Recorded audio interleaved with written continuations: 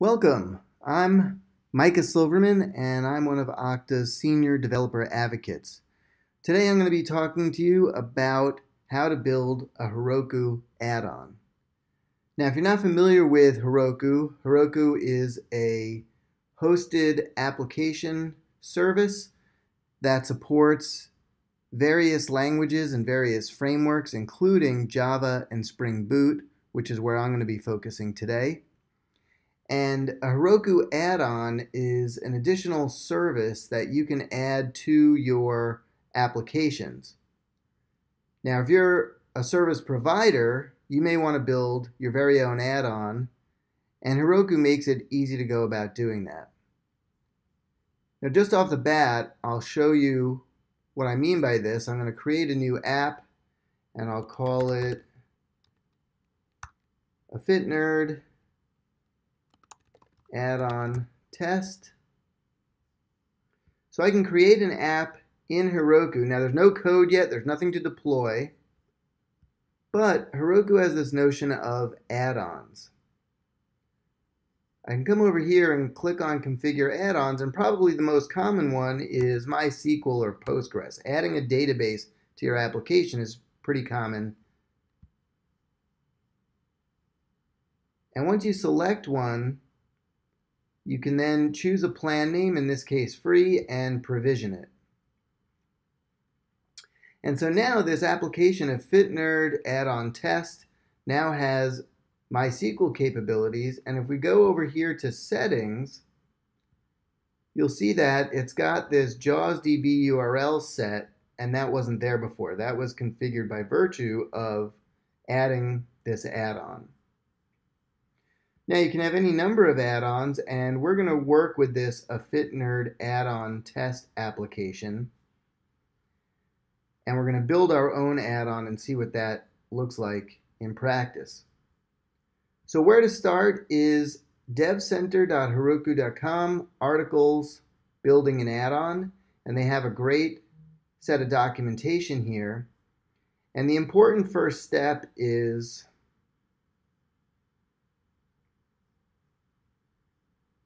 going to addons-next-heroku.com to accept the partner terms of service. That page looks like this. You'll click Join Provider Program, and once you do that and accept their terms of service, you'll be able to start creating and adding add-ons. Now this is what my partner portal page looks like. You can see that I've created some add-ons. I have Okta and Okta Staging. That's the Okta add-on.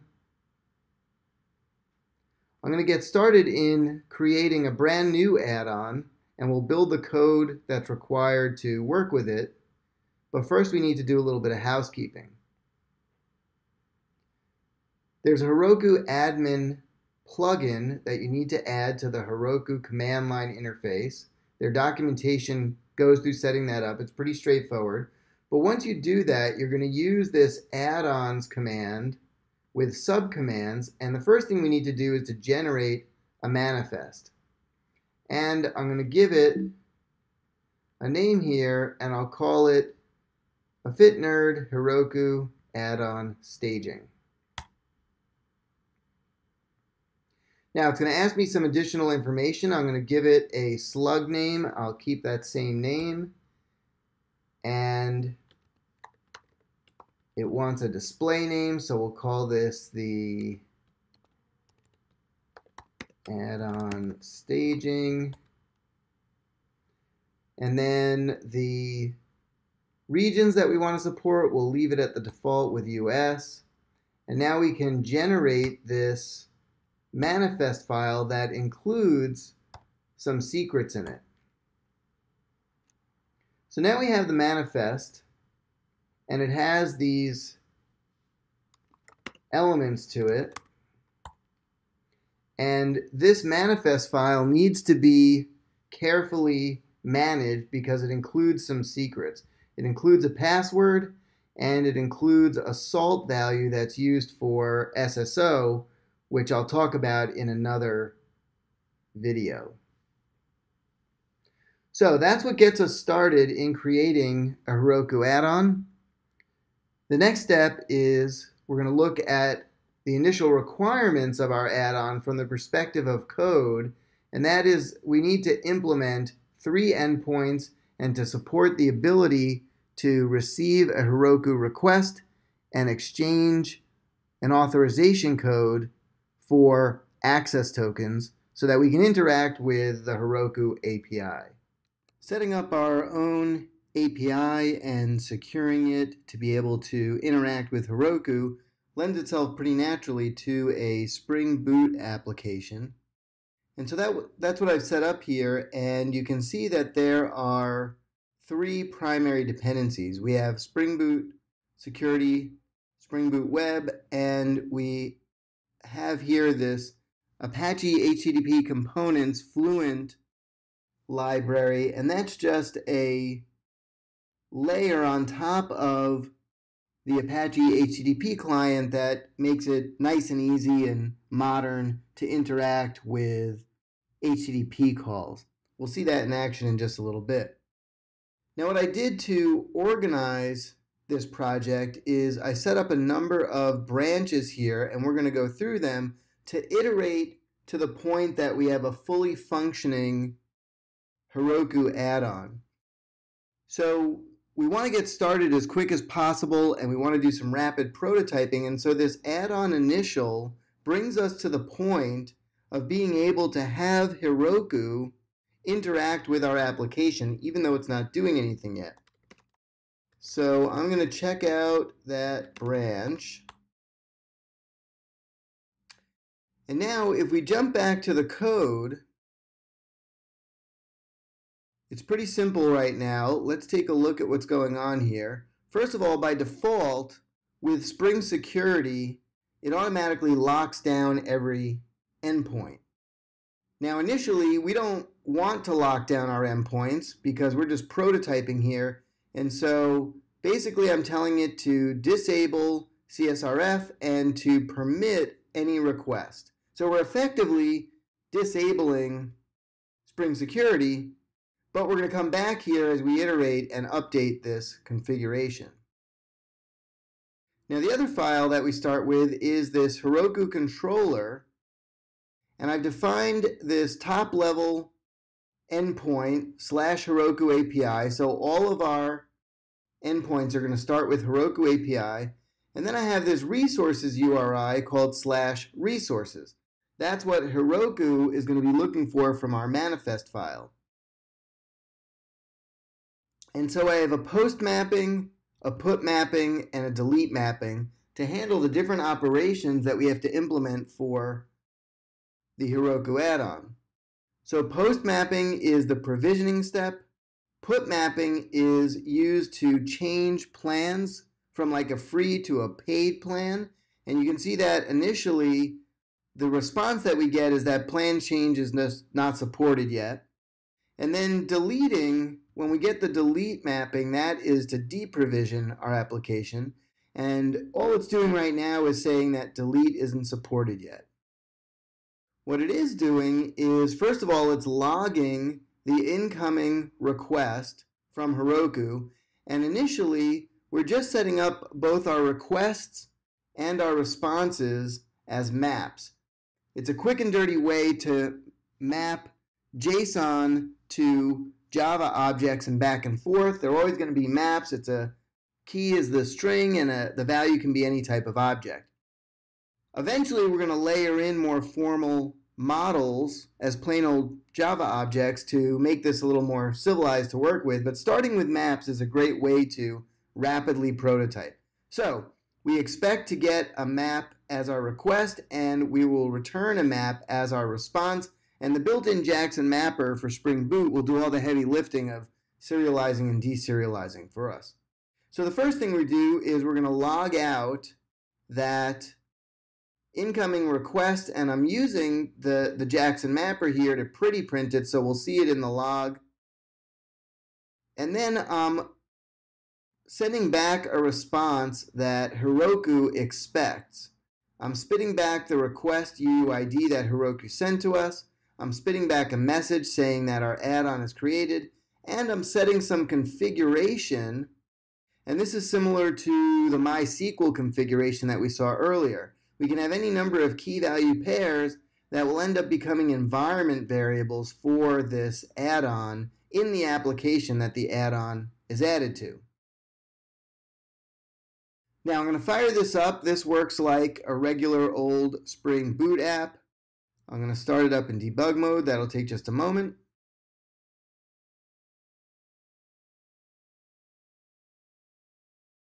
Now we're listening on port 8080 locally on my machine and we want to provide a way for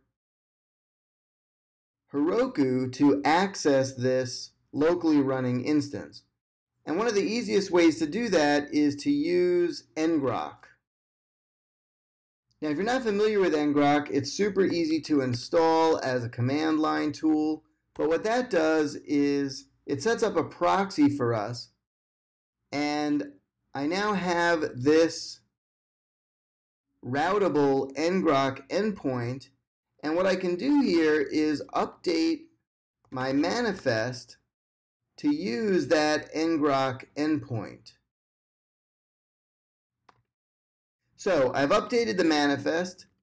I now need to issue a command to tell Heroku to use this ngrok endpoint that's in the manifest that's the base URL. And so I'm going to do Heroku add-ons admin push manifest push. So Heroku add-ons admin manifest push.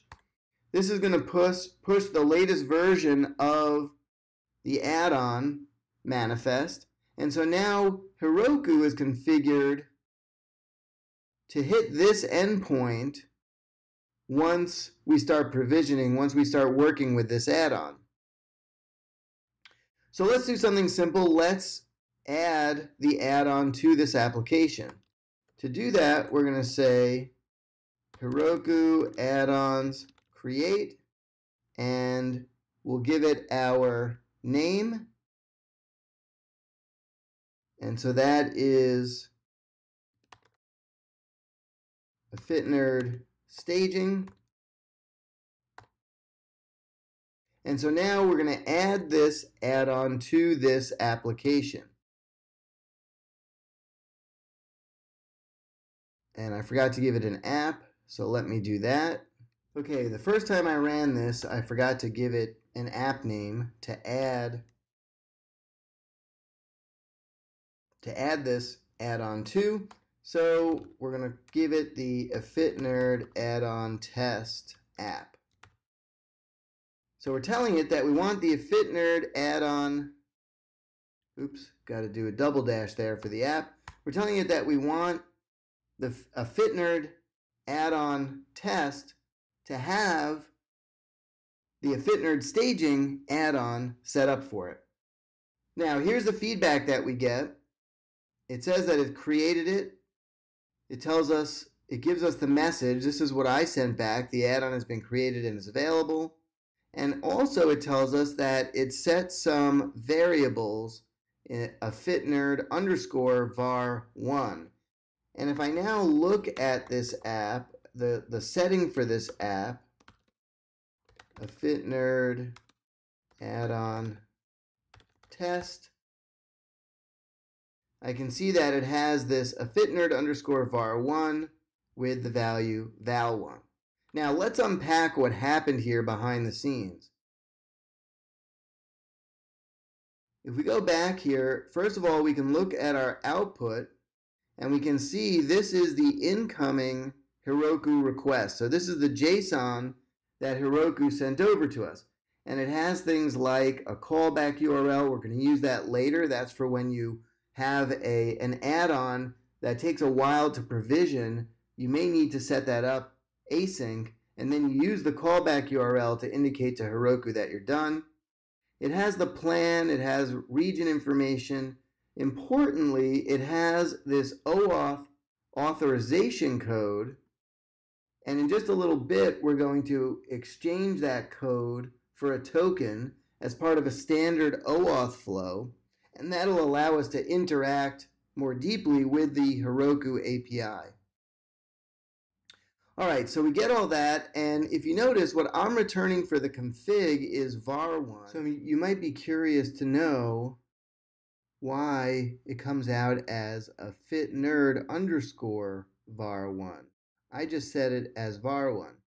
Well, if we look at the add-on manifest, it includes a config vars prefix that it's going to put in front of any variables that we set.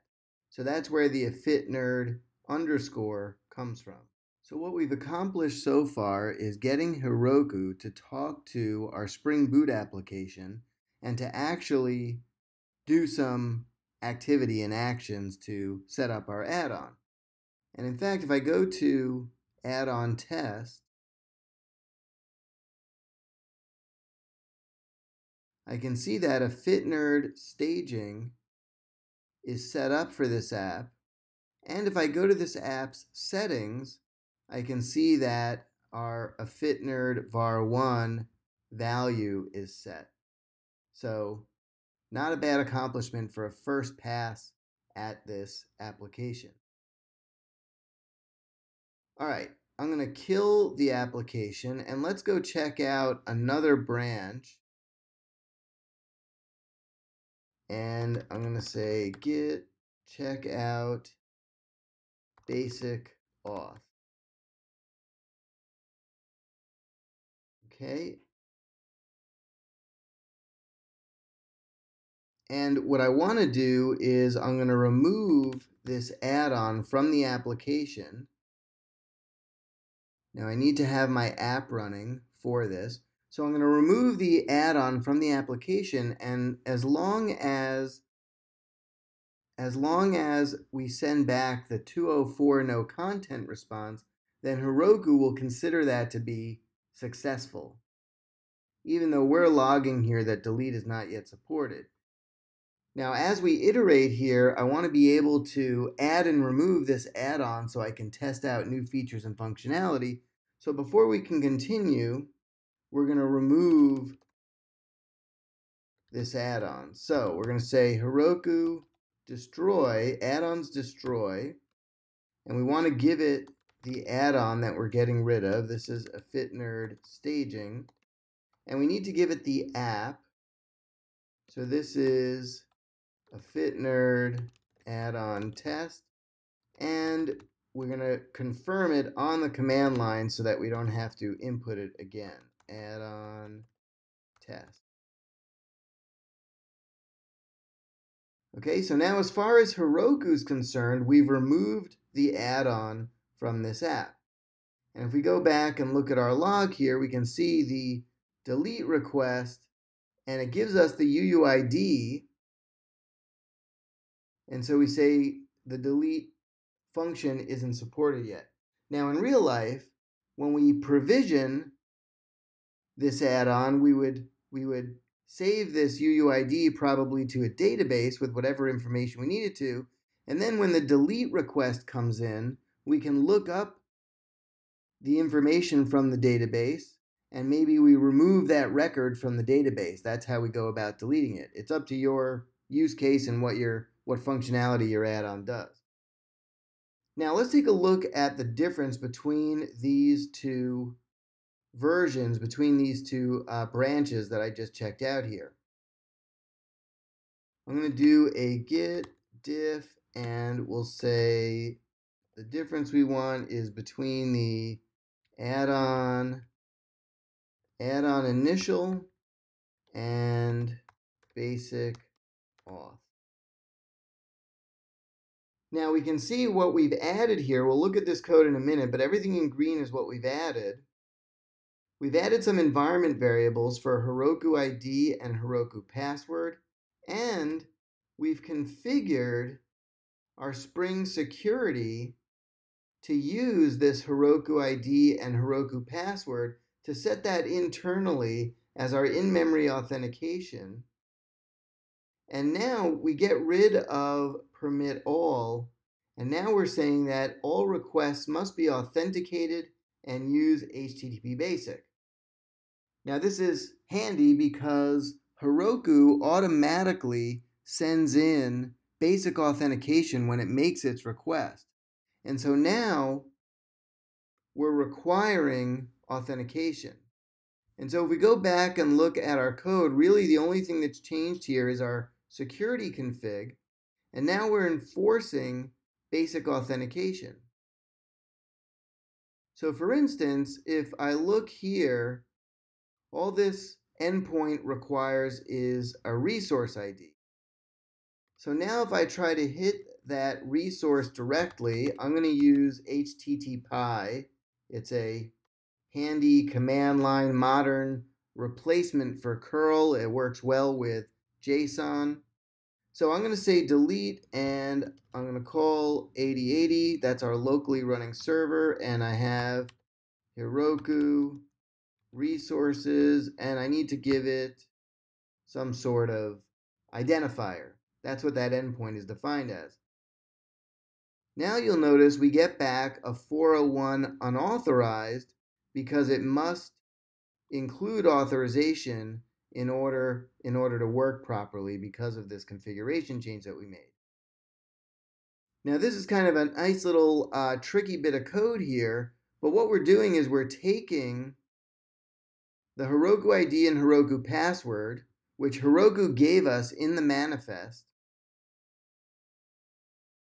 and we're setting that as our user and we're saying this is a global configuration. So we're identifying, we're creating this global user, and then we're saying that all requests must be must be authenticated.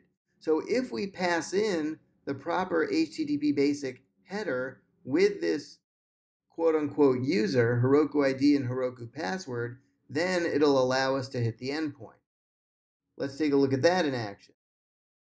So if I look at the manifest, remember I said earlier that the manifest has secrets. That's why we don't want to leak this. I have the ID as a fit nerd staging, and I have the password is right there in the manifest. So let me go back and try and make this request, only this time I'm going to give it some basic authentic authentication of a fit nerd staging and our password. All right. Now this time we get back the 204 response. And so as far as Heroku is, is concerned, this is all going to work now. Now I still have ngrok running, so I don't need to update my manifest or make any of those other changes, but I do want to verify that my Heroku request for creating the add-on and for destroying the add-on still works. So let's go back to Heroku add-ons create. I'm going to give it the same add-on, a FitNerd staging, and I'm going to give it the same app, a FitNerd add-on test. And that completed successfully. And we can go back and look at the output here, and we can see that we can see that um, that that this is the request that came in from Heroku. So Heroku is still speaking to our app, and now I can delete it just like before to get us set up for the next iteration of the code. So now it's deleted and we'll get the response saying that uh, this request was received for this resource and delete isn't supported yet. Let's take a look at the next iteration of our code, which is to exchange Heroku's authorization code for an access token. And we need that in order to interact further with Heroku's API. So I'm going to stop my server once again. And now this time I'm going to check out the code exchange branch. And let's do a diff between basic auth and code exchange to see what changed. So first thing to notice here is that I've added a service called Heroku Communicator Service. That's going to be our central service for anytime we need to make an API call to Heroku. And I've also auto wired it into my controller. Then we have the code itself up here, which is where we've we've added additional code here and it's going to extract the authorization code from our request and then it's going to use the communicator service to exchange that code for tokens. Now one thing I want to highlight here is that while working with maps is a quick and dirty way to deal with JSON, it gets out of control pretty quickly when you see a line of code like this. We're getting information out of the map, we're casting it, then we're getting more information out of the map and casting that. So pretty soon we're going to need to start working with models. In our, in our next revision, we're going to do that. But here's the core of the code. We're getting a token response, which again initially is just going to be a map, and we're calling the exchange code for tokens. That's the the, the net of what we're doing here, and then we're pretty printing out that token response. So let's go take a look at the code now. And if we jump over to our controller, so now we have security that Heroku provides, and so our service, our endpoint, is now locked down. Now, if I look over here, These lines of code are the new lines of code where we're exchanging the code that we get from Heroku, the authorization code for tokens. Let's take a look at this new Heroku communicator service. Now it gets configured with a Heroku client secret. We need that in order to do the exchange. And then we're using the Apache Fluent HTTP client which I like because I think it's very readable. We're posting to an endpoint called the Heroku token URL endpoint. We're sending it a form, and this form has some elements to it. It's got a grant type, authorization code, it's got the code itself that we received from the initial request, and it's got the client secret.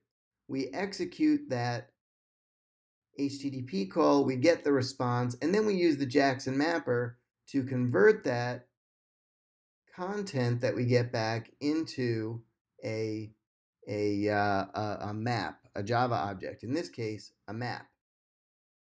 Now, where does the client secret come from? We need to configure that in our add-on application. And we can see that over here. If we go and look at the our partner portal, and we go to a FitNerd staging, which we created with the manifest, and we go to look at the settings for that, if we scroll down a bit, this is the client secret that's provided to us from Heroku.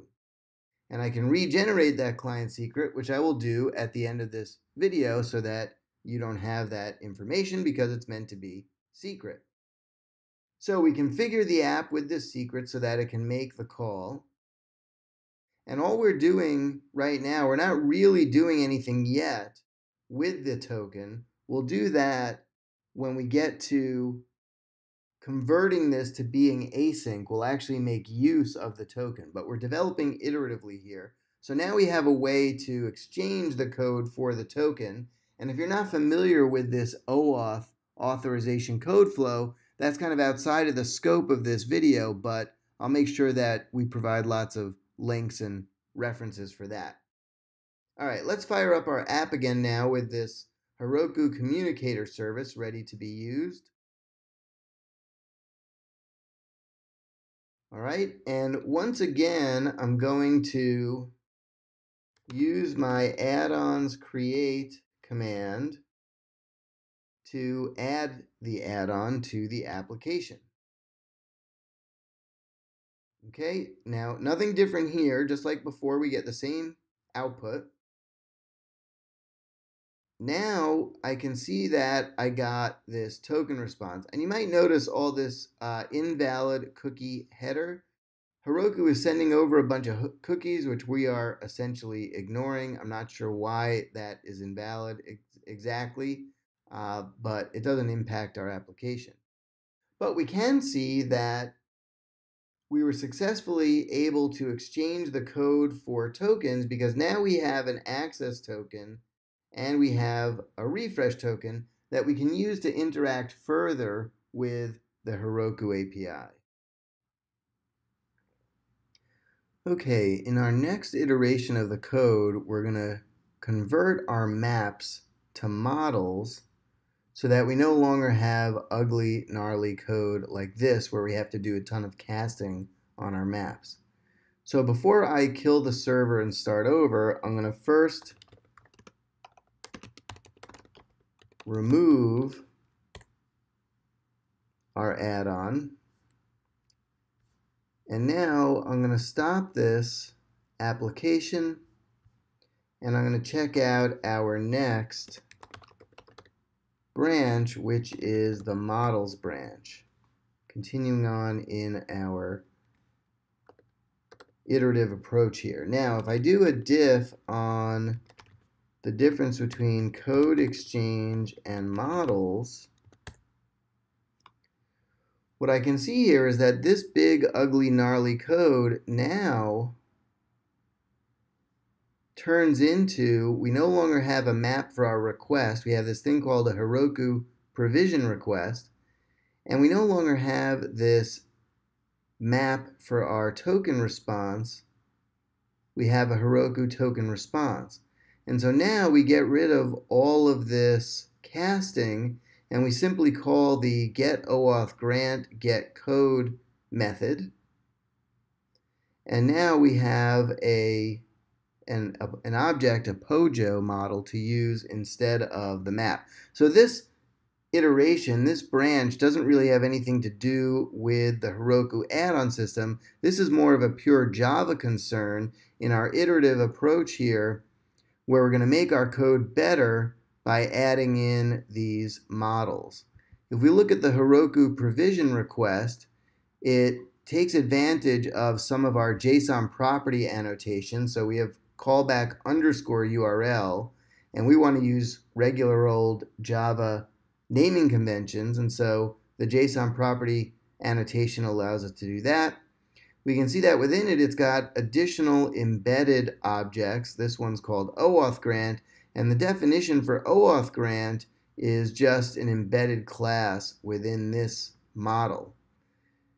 Now that alters our code to make it a lot easier and, and readable to work with. So now instead of all of that casting, I have this simple call to request.getOAuthGrant.get code. Let's start up the application again and we'll just validate that the models version of our application is now working. And just to be clear, this isn't a full conversion yet. You'll notice from our provision method, we're still returning a map, but it's an iterative approach here where we've now refined the code to make it a little more readable and we'll continue to do that. So I'm going to use add-ons create. At each step of the way, we're just making sure that our code is still behaving the way we expect it to. I can see that I still get the output that I expect. I have my token output and I have my request output, but now we're dealing with these objects. We have our Heroku provision request and we have our Heroku token response. The last iteration of our code refactoring that we're going to do is to make this async. Now this is very common when dealing with Heroku add-ons. It may require some time for whatever provisioning you need to do. And after we make this code change, I'll show you a real-world example with the Okta Heroku add-on and because we're provisioning an Okta org, it can take some time, and therefore we want our application to return immediately when it receives that request from Heroku. But then we wanted to continue doing the provisioning in the background and have a way to communicate with Heroku to indicate that it's completed its task. And the way that it's going to do that is by using that token that we set up two iterations ago. So just like before, I'm going to start by destroying this add-on. Do a little bit of housekeeping with Heroku. I'm going to stop the application. And now I'm going to check out our last branch, which is async. Now, there is quite a bit of difference between our models branch and async because in addition to setting things up to be async, I completed the work of swapping out all of our maps for models. But let's just take a look at some of it.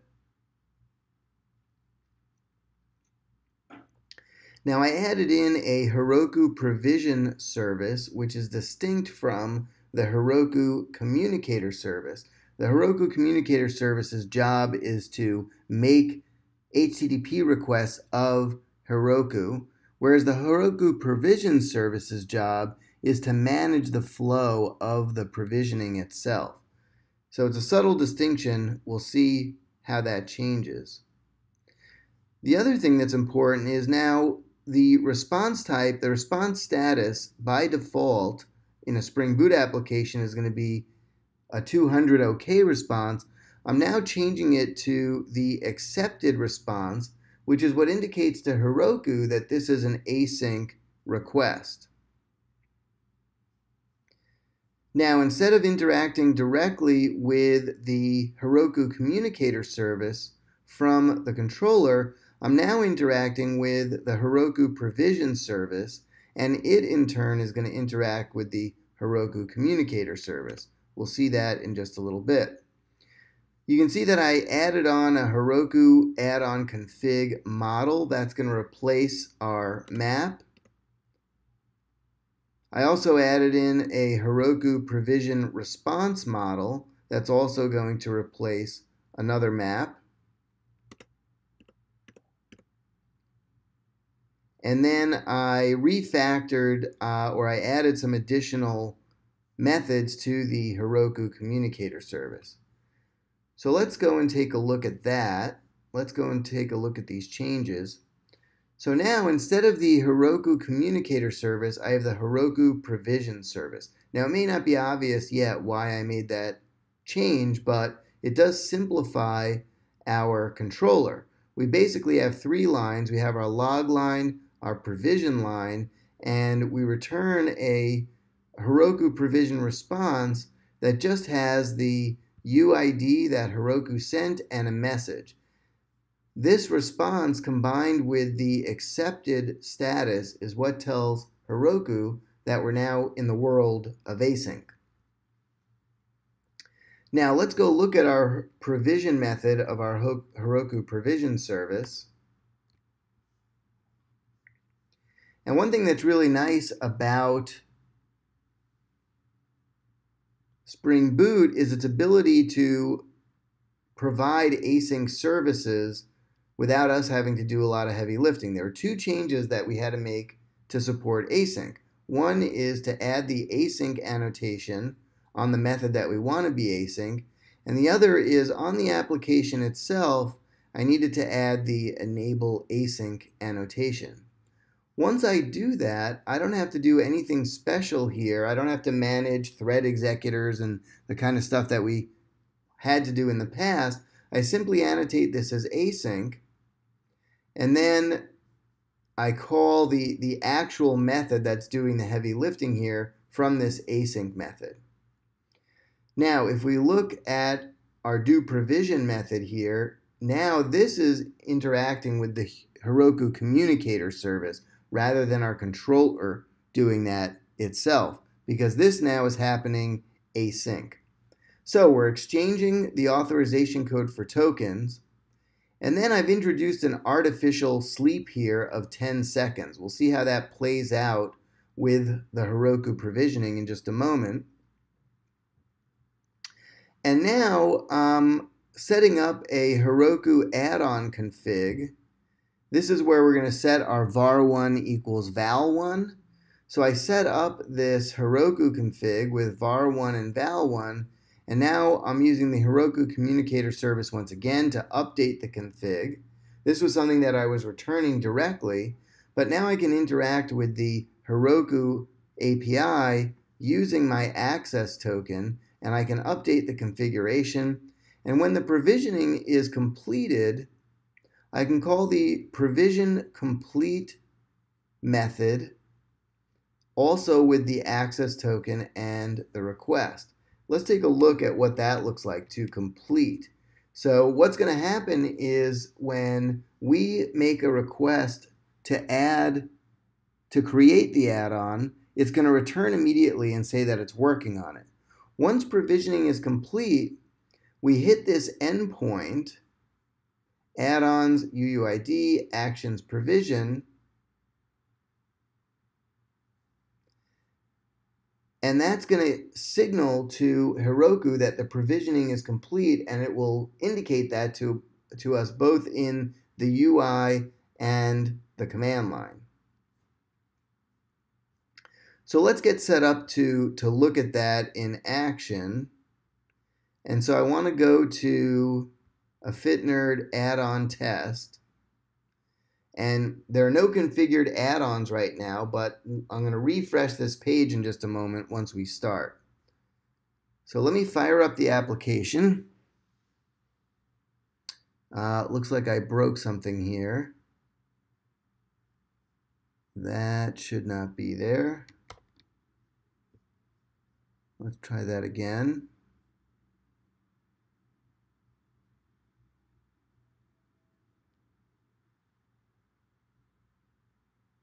All right, that's better.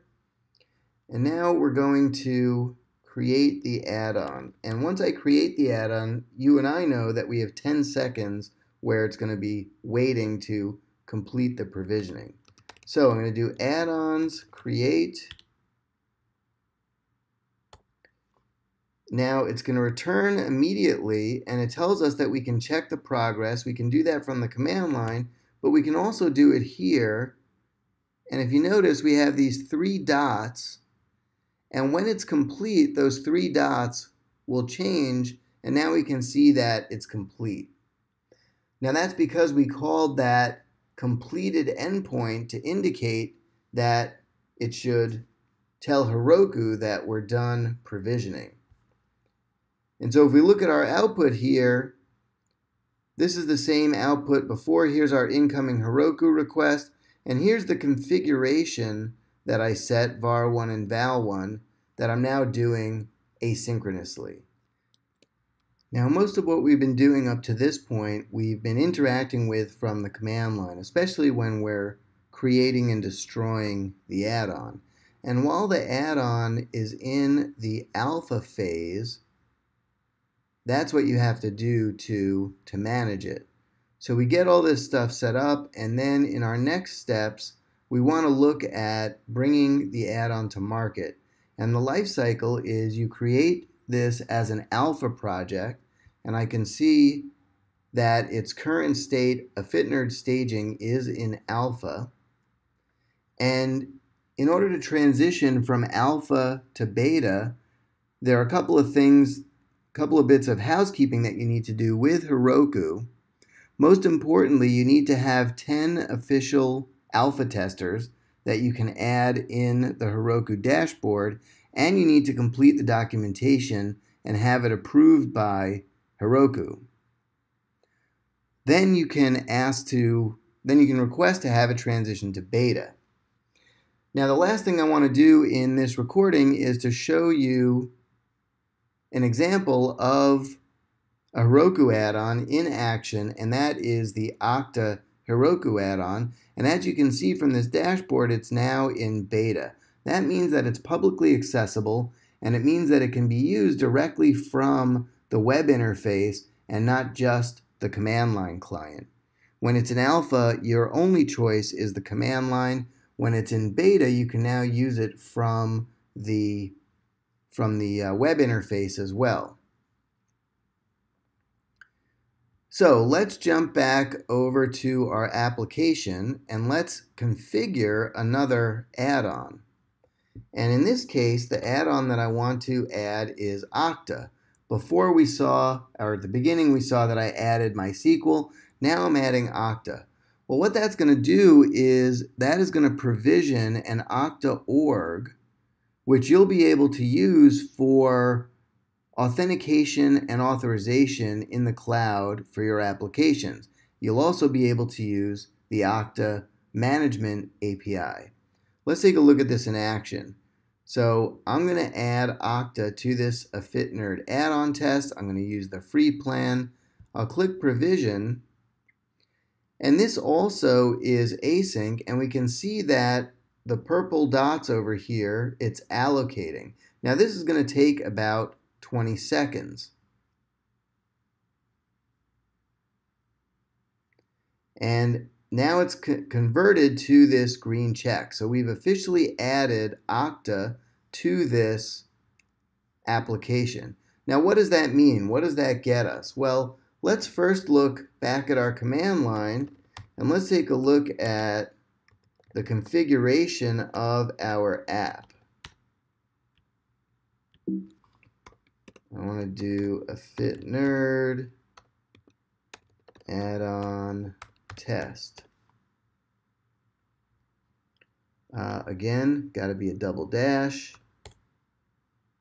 Okay, so now we still have the variables that were set from our test add-on, but now we have these official variables from Okta. So we have an endpoint for our Okta org, we have an API token, and then we have some OpenID Connect OAuth values, client ID, client secret, and issuer. Let's see what, just as an example, what this can do for us. So I'm going to use the Okta API to take a look at the users that are in this org. Again, I'm going to use HTTPie and I'm going to use the API endpoint API v1 users and then I need to give it an authorization header. This is the Okta authorization header and there's the API token. And now it's going to return to me a list of all the users that were created in this org. And so far, there's only one user that's been created, and this is all the information about that user. Now, the other benefit I have here is I've implemented single sign-on for this Okta add-on.